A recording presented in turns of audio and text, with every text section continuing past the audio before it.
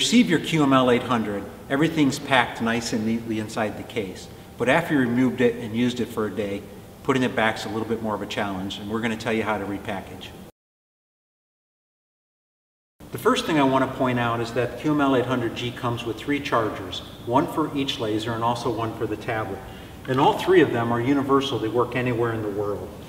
They come with a small bag that includes the adapters for your region. So find the adapter that's appropriate for your region, attach it, and throw the others away so that you have room in your case.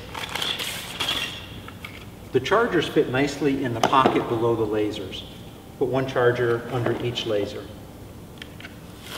The charger for the tablet comes with a USB cord.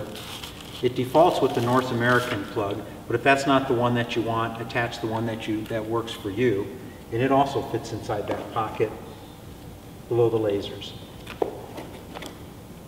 The lasers are placed in with the window facing up. Also want to point out that the charging jack is facing up so you can charge the lasers while they're in the case. Tablet fits in the front pocket.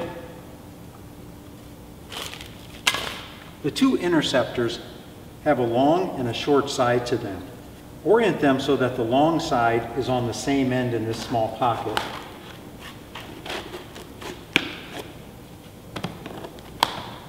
And when you do that, then the magnetic bracket fits right in the middle quite nicely.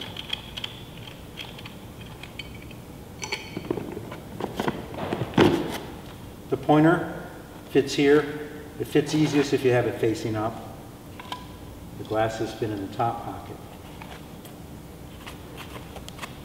So it looked like a puzzle, but everything fits nicely.